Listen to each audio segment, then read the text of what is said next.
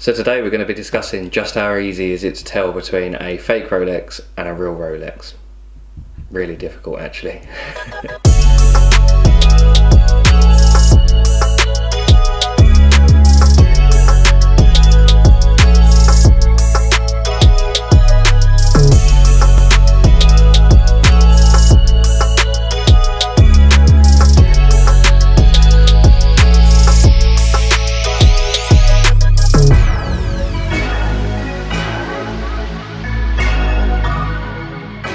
Work Clockbait. I'm Luke. I'm Anthony.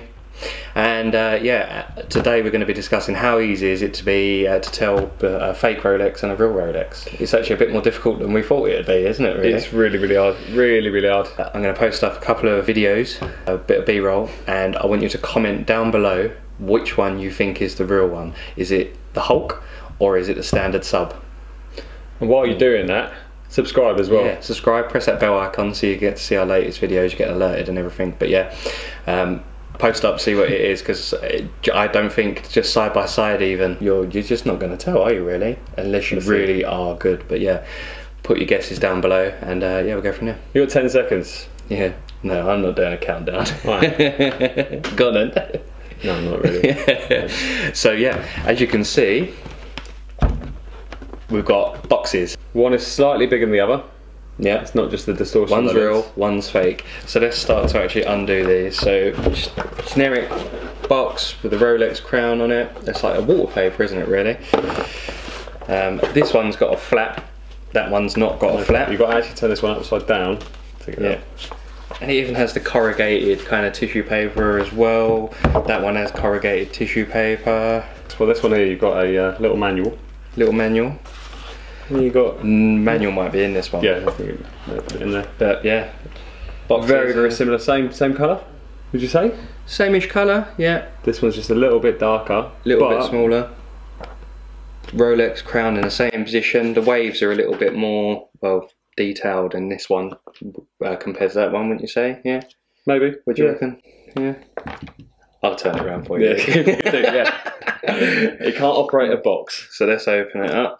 Mine's got a little piece of hide, fake hide, whatever. This might be the little bit of giveaway is the the crappy stickers.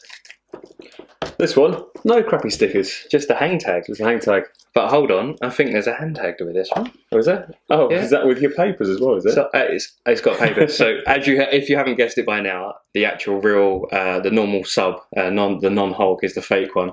But yeah, leverette with warranty card. There's I can't believe you've got a warranty card. Imagine trying to put a claim through. a manual. There's kind of a brochure there. Here's the hang tag. In fact, let's do a hang tag comparison. That'd be a really nerdy video, wouldn't it? We can compare the hang tag. You can actually tell straight away the uh, the material on this is a little bit thinner compared to that one. The hang tag isn't as so nice. you can tell take uh, you- straight away. But if you had that, you need this one. to Yeah, each other. yeah, yeah. It's even got Ooh. That's unbelievable. The cheek of it. I just, yeah, it absolutely astounded me. Really did astound me. But yeah, it's just, just unreal. It really is unreal. Even down to the um, the cushion. yeah, even the cushions look exactly the same pattern, kind of almost the same quality. Not quite as good on the fake one, but I mean, you just wouldn't tell unless you had another one next to each other. So you've got you've got the actual paperwork with this one as well, haven't you? A little bit nicer wallet. The actual the cards a little bit better. Um, exactly the same manual, and I, I mean genuinely exactly the same manual. It It's is scary. It is It's scary. The actual watches. I mean, even right next to each other, you're going to struggle to tell, aren't you? On first sight, yeah, there are a few giveaways which we'll go through, but not there's not much at all, especially with the naked eye. I mean, we we had to go full macro. I mean, with the macro tubes and all sorts to get this right. It was um, Mm. it's interesting. Should we do the bezel bezel action? So I'll do the fake one first. It's quite nice actually. It's not awful.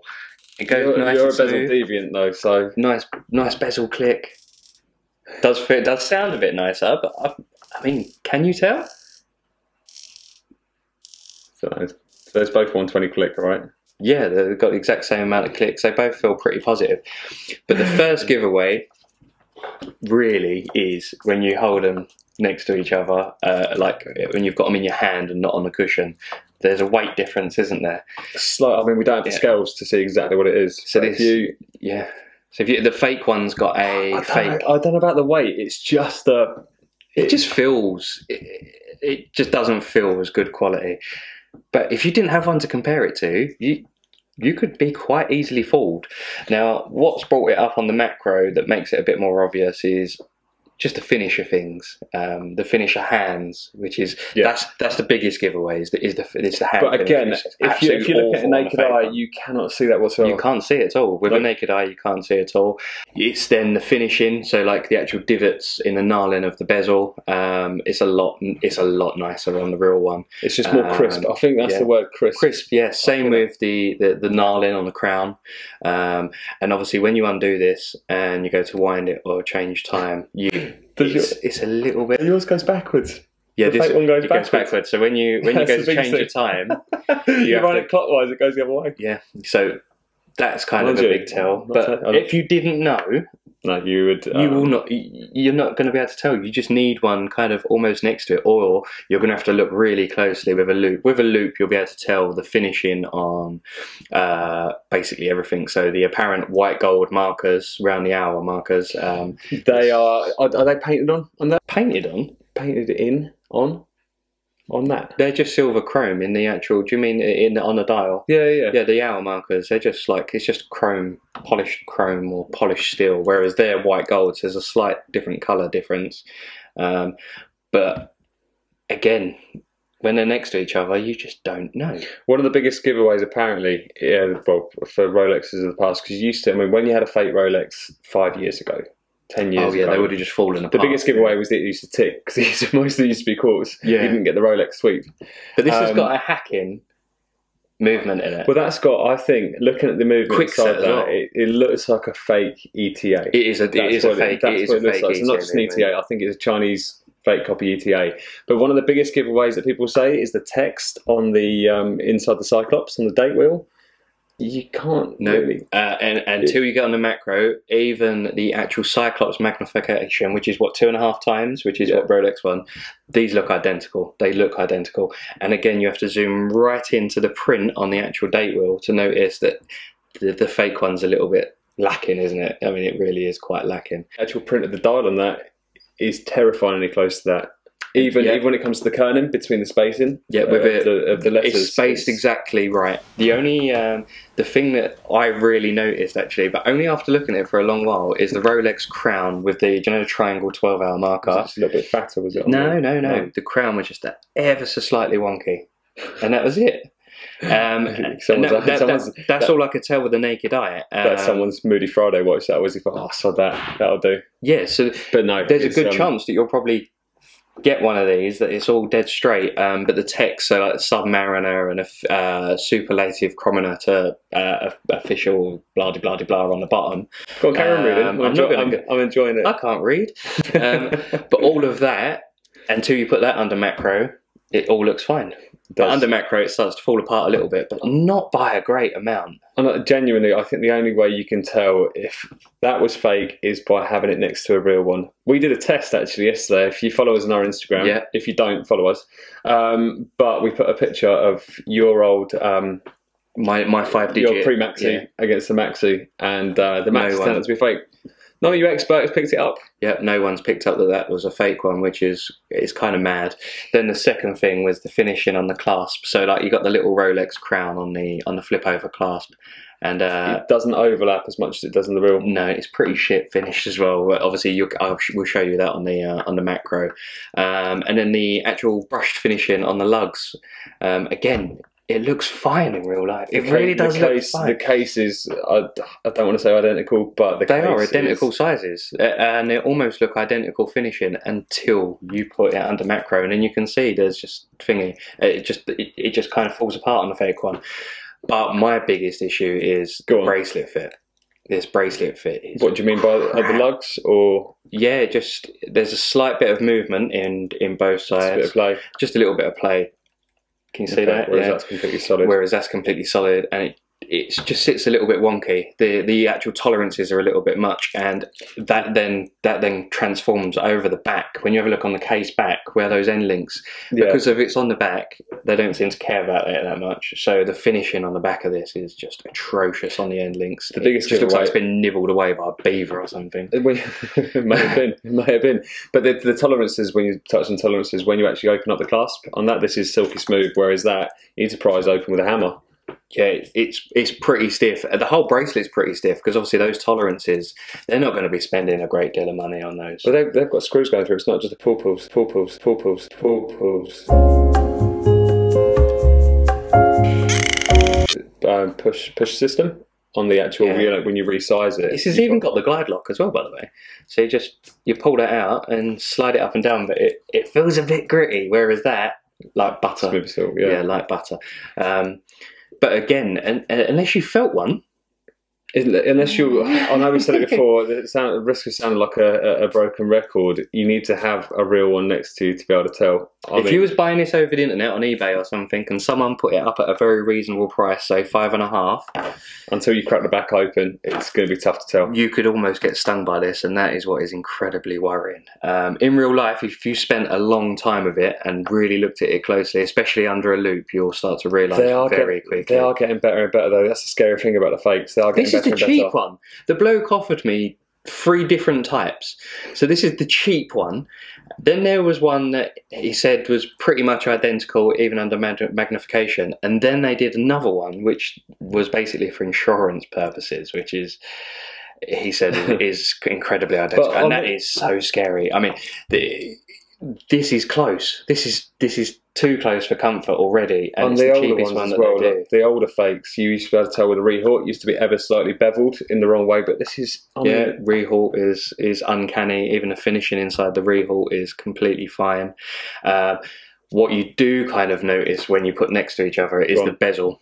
Um, so you've got platinum um, inside the actual numbers on there, and the it numbers platinum are white gold? Is it platinum? It's those? platinum, yeah. It's dusted it? with platinum. Okay. So uh, the fake kind of lacks a little bit of luster uh, with that, but even the lume looks identical as well, and it's just oh, I, I just I genuinely can't believe how good this is. Good in the in the sense of good copy, not Yeah, not good not, copy, not, yeah. to go, not not to say everyone go and buy a fake, don't bother buying Rolexes, but it, it, No, it that's kind of. Yeah, that, that yeah, it doesn't matter how good it is. It could be completely like you could never tell even under magnification, even if you opened up the case back.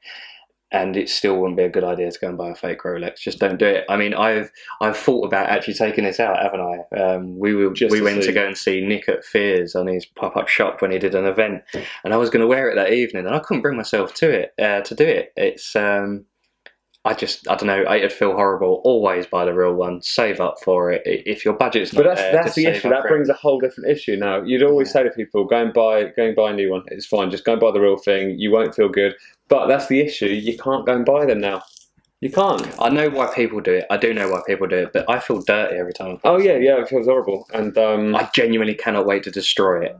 And, and that's another thing. Drop a comment below. How would you like to see this watch destroyed? we've got a few ideas. We've we? got a few ideas, but let's see what you think. But this is this is not much longer for this world. It is going to get destroyed. Um, so yeah, if you want to see it done in a your own special way, drop a comment and uh, maybe we might do it your way. On another note as well, one of the main things again, you cannot see this without macro, but Rolex have in the bottom of the crystal they have the crown that's etched in or laser cut. Ah, yeah.